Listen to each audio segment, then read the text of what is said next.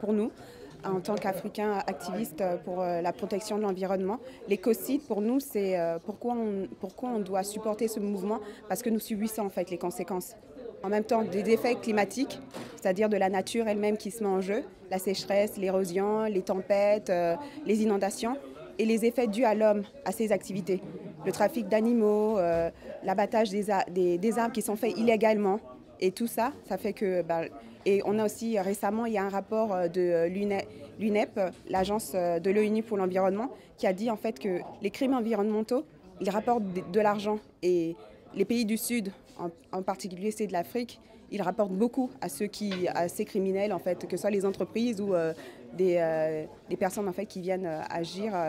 dans ce sens où ils commettent en fait un crime environnemental dans l'écocide. Bah, en Afrique, oui, il y a des, des instruments juridiques pour protéger qui assurent la, protection de l'environnement. Et je pense que c'est l'initiative vraiment des gouvernants, de nos gouvernants, vraiment euh, d'assurer cette effectivité pour que les entreprises, par exemple, qui viennent et euh,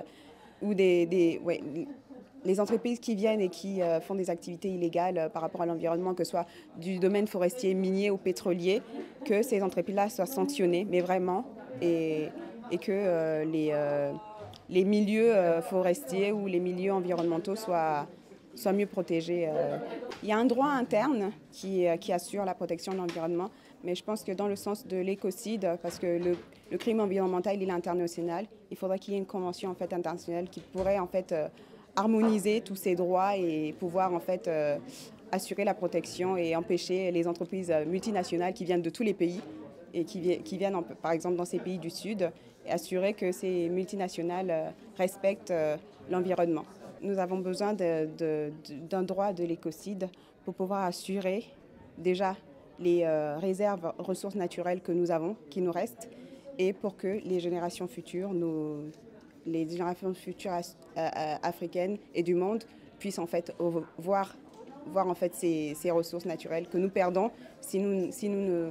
si nous ne sanctionnons pas en fait euh, la destruction de l'environnement.